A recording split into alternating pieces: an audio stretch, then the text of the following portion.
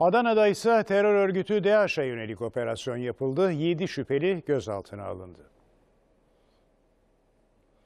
Adana Emniyet Müdürlüğü ekipleri terör örgütü DAEŞ'e yönelik operasyon başlattı. Şafak vakti özel harekat polislerinin de katılımıyla eş zamanlı baskınlar düzenlendi. Özel harekat timleri önce söz konusu şüphelilerin evlerinin bulunduğu sokaklarda geniş güvenlik önlemleri aldı. Ekipler daha sonra Koçbaşı'yla kapıyı kırıp girdikleri adreslerde bulunan 3'ü Suriye, 4'ü Irak vatandaşı olmak üzere toplam 7 şüpheliyi etkisiz hale getirdi. Operasyonda yakalanan zanlılar adli tıp birimindeki sağlık kontrollerinin ardından sorgulanmak üzere emniyete götürüldüler.